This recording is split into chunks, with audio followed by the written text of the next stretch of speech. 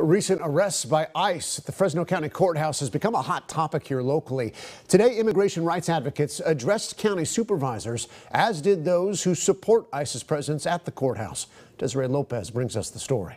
Dozens of immigration rights advocates rallied outside of Fresno County Hall records asking for Sheriff Mims to stop cooperating with ICE. The rally ended in front of the Board of Supervisors where the first public forum under the Truth Act took place. The act requires law enforcement to inform local residents about what federal agents are doing in their community annually as part of the transparent review process. Sheriff Margaret Mims believes ICE agents have every right to be in the courthouse. The task forces that we participate in focus on violations of state and federal law related to narcotics, human trafficking, violent criminal acts.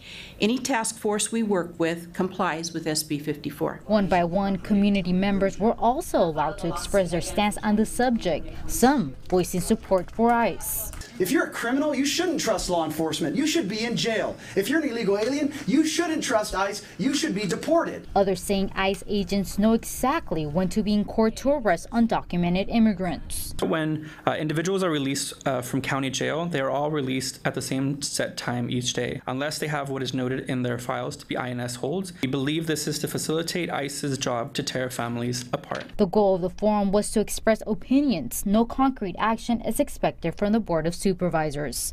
In Fresno, Desiree Lopez, KSEE24 Local News that matters.